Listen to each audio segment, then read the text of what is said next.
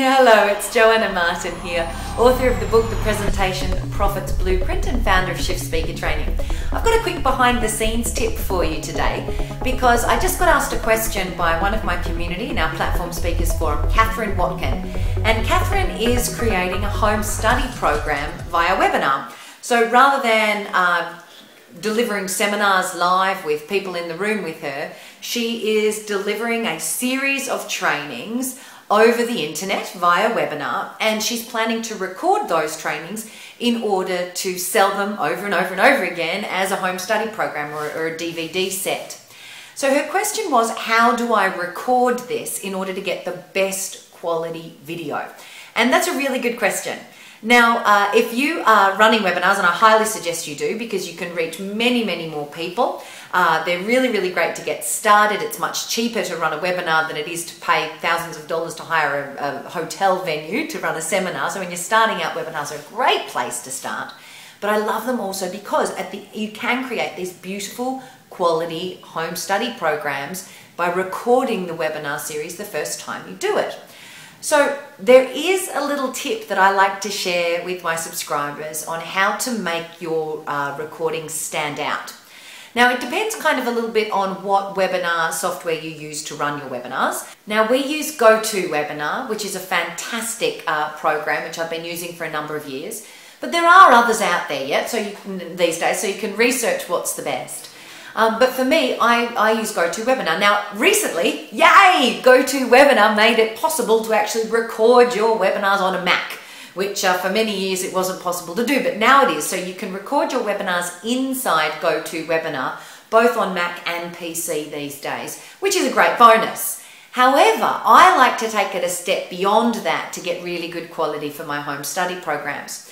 And what I tend to do is add a little extra something something. what that is, is I get a good quality microphone. Now, for me, I use something called a Samson H2 handy recorder. It's just a great quality mic that I picked up a few years back. I think all the podcasting people recommend a Rode podcasting microphone these days. It doesn't matter what it is, as long as it's a reasonable quality microphone, um, you can usually pick something up for around $100, $200 and I will plug my microphone into my computer. So the audio is not just picking up through the computer microphone, but it's picking up through the, um, you know, through, through the good quality pickup of my mic. So that means your audio quality is far better than, uh, you know, little headsets and things. The second thing that I do is I use screen capture software. Now, the wonderful thing about screen capture software is, uh, and examples are um, ScreenFlow on a Mac, that's the one I use, ScreenFlow on a Mac, or on PC, the, the most well known one is Camtasia. Now, the wonderful thing about these pieces of software is they do three things. Number one, they capture the visual of what's on your computer screen. So if you're doing a slideshow, let's say, it captures the visuals of that slideshow on your computer screen. The second thing that it does is it captures your voice. And as we've said, it's capturing it through a great quality audio, so we've got great audio.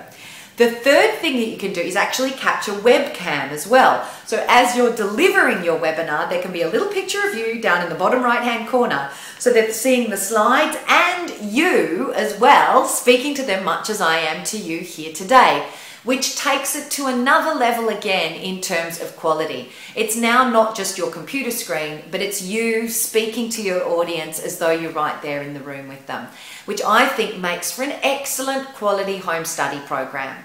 Uh, the only uh, the only challenge with this setup is uh, is that you sometimes need a second laptop so that you can do all of your answering people's questions and look at hands up and things. Because if you're recording what's on your computer screen, it will also record the webinar control panel, if that makes sense. It would make sense if you've been running them.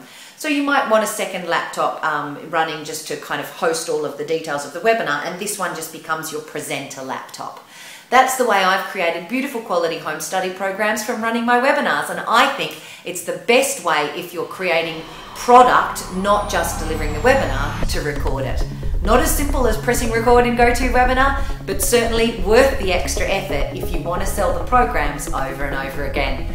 I hope that little tip helps you today. Uh, Catherine, I hope it's helped you, and I look forward to seeing you on the platforms of the world. Bye.